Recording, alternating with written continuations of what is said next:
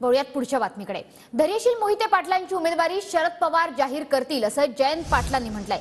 धैर्यशील मोहितेंच्या उमेदवारीवर शेकाप नेते जयंत पाटलांनी ही प्रतिक्रिया दिली आहे. धैर्यशील मोहितेंची उमेदवारी शंभर टक्के निश्चित झाली असल्याची माहिती सुद्धा जयंत पाटलांनी दिली आहे.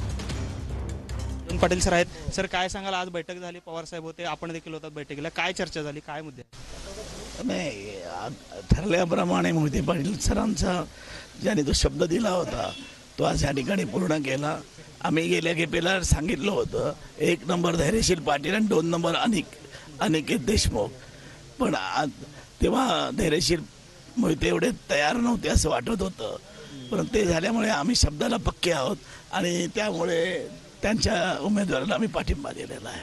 धैर्यशील मोहिते पाटलांची उमेदवारी आता जाहीर झाली अधिकृतपणे असं म्हणावं लागेल कारण बैठकीत देखील त्यांच्या नावावर आता होतील पवारसाहेब स्वतः इथे जाहीर करतील.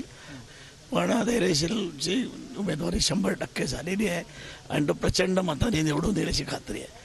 स्वतः पवार साहेबांनी त्याचा आढावा घेतला आता बैठकीमध्ये प्रत्येक विधानसभा गटवाईज आणि जवळजवळ तीन तास ही मिटिंग चाललेली आहे. सकाळपासून पहिल्यांदा मी जिथे आलो होतो आणि मला वाटतं पश्चिम महाराष्ट्रामध्ये इंडिया आघाडीचे जे उमेदवार येतील ते प्रचंड मताने निवडून येतील असं दिसतंय. Cameraman Vinod उनाबादकरसह Sagar Suravase T V nine Marathi Akluj Malshiras Solapur.